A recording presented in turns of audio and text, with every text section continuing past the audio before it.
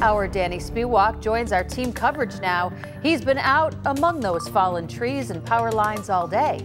Danny. Yeah, Maryalice and Adam, I think these two cars here on North Pearl Street in the city of Buffalo perfectly illustrate the kind of wind damage we've seen today across western New York. There was a tree that snapped uh, just after noon today and fell on two cars here, knocking out the back windows of both and the front window of this one. Some really severe damage and obviously a nightmare for the people uh, who drive these cars and came out and found this earlier today. But it didn't matter where you were in western New York, no matter where you were, you were going to find some kind of damage, and in many cases, it was severe like we're seeing here. It was a frightening day for tractor trailer drivers in western New York. One truck flipped at the 9290 interchange in Amherst, another flipped near Tonawanda Creek Road in Pendleton.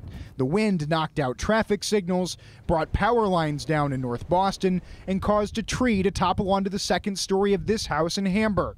And behind Main Street in Buffalo, we found Christy, who told us this story. My car got crushed by that tree, so yeah, just a giant gust of wind came and I guess took uh, the tree down and it crushed my car, so that's it. The tree smashed the back windows of two cars in this parking lot. Thankfully, nobody was inside them at the time. Yeah, usually I do eat lunch in my car, so I'm glad I wasn't at lunch yet because that would have been a real bummer. Employees of a nearby doctor's office heard the crash right after the noon hour.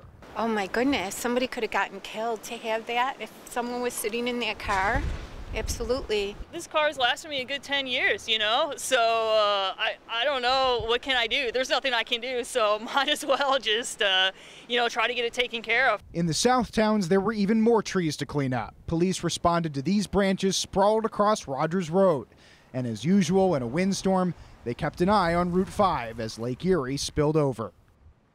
The parking lot I'm standing in right now in North Pearl is just a couple of blocks from downtown Buffalo, and we're not feeling the kind of wind that we felt uh, a couple of hours ago. It's definitely subsided a little bit, but still feeling those gusts here in the city of Buffalo, as many are across western New York.